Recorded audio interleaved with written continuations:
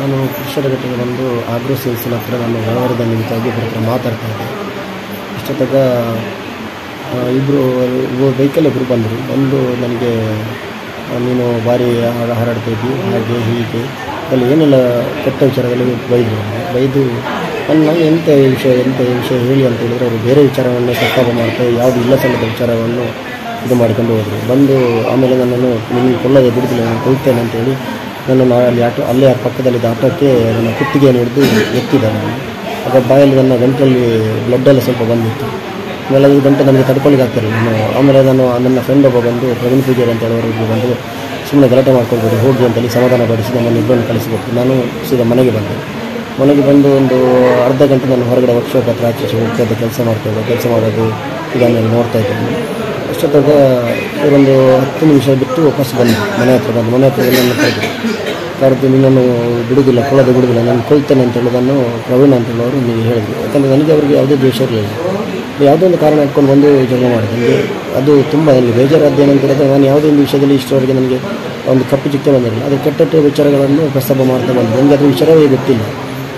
ಮಾರ್ಗದ ಜಂಕ್ಷನಲ್ಲಿ ನನ್ನ ಶರ್ಟನ್ನು ಎಳೆದು ಕುತ್ತಿಗೆಯಲ್ಲಿ ಹಿಡ್ಕೊಂಡು ಇದು ಮಾಡಿದ್ರು. ನನಗೆ ತೀವ್ರ ನೀವು ತಡೆಯಲಿಕ್ಕಾಗಲ್ಲ ಇನ್ನೊಂದು ನನಗೆ ಏನಂತ ನನ್ನ ಮುಖದಲ್ಲಿ ಒಂದು ಚಿಕ್ಕ ಗಾಯ ಆ ಗಾಯಕ್ಕೂ ಗುದ್ದಿದಾಗ, ಹೊಡೆದಾಗ ತುಂಬ ಗಾಯ ಆಗಿ ಬ್ಲಡ್ ಮತ್ತೆ ಜಾಸ್ತಿ ಇದಾಯಿತು.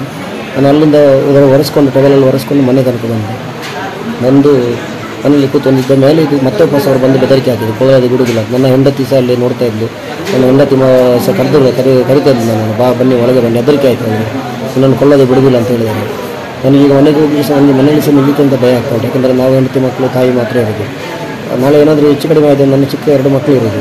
ಇವರು ನನಗೆ ಈಗ ಗಲಾಟೆ ಮಾಡಿಲ್ಲ ಗೊತ್ತಿಲ್ಲ ನನಗೆ. ಇದಾದರೆ ಈ ಸಿಚುವೇಶನ್ ರಾಜ್ಯಕ್ಕೆ ಯಾಕೆ ಇದು ಮಾಡ್ತಾ ಇದ್ದಾರೆ ಅಂತ ಗೊತ್ತಿಲ್ಲ. ರಾಜ್ಯಕ್ಕೆ ಇದು ನನಗೆ ಮತ್ತೆ ಇವರು ಬಂದು ಹೋದ ಮೇಲೆ ನನಗೆ ನಮ್ಮ ವಲಯ ಅಧ್ಯಕ್ಷ ಕಾಂಗ್ರೆಸ್ನ ವಲಯ ಅಧ್ಯಕ್ಷ ಸುಪ್ರೀತ್ ಕನ್ನಡ ಅವರಿಗೆ ಫೋನ್ ಮಾಡಿ ಇದೇ ವಿಷಯ ಆಗಿದೆ ಅಂತ ಹೇಳಿ ನನಗೆ ಬಾಯಲ್ಲಿ ಮದ್ದು ಬರ್ತಾ ಉಂಟು. ಹೊಟ್ಟಲ್ಲಿ ತುಂಬ ನೋವು ಉಂಟು ಅಂತ ಹೇಳಿದೆ ಮತ್ತು ಅವರು ಅವರಿಗೆ ತಕ್ಷಣ ಬಂದು ನನ್ನನ್ನು ನಾನು ಹೇಳಿದೆ ಹಾಸ್ಪಿಟ್ಲಿಗೆ ಬೇಡ, ಹೀಗೆ ಆಗಿದೆ ವಿಷಯ ಅಂತ ಹೇಳಿದ್ರು. ಬೇಡ ಬೇಡ, ನಾವು ಹಾಸ್ಪಿಟ್ಲಿಗೆ ಹೋಗುವ, ಮದ್ದು ಮಾಡುವ. ಮದ್ದು ಅಲ್ಲಿ ಡಾಕ್ಟ್ರ್ ತಗೊಂಡು ಹೋಗಿ ಹೇಳಿದರು, ಅದು ಸ್ವಲ್ಪ ನೀವು ರೆಸ್ಟ್ ಮಾಡಬೇಕು. ಗಂಟಲಲ್ಲಿ ಸ್ವಲ್ಪ ಗಾಯ ಆಗಿರಬೇಕು ಇಲ್ಲದಿದ್ದರೆ ಆ ಥರ ಬರೋದು ಈಗ ಕುತ್ತಿಗೆಲ್ಲ ಎಲ್ಲ ಏನೇ ಅಂತ ಕೇಳಿ.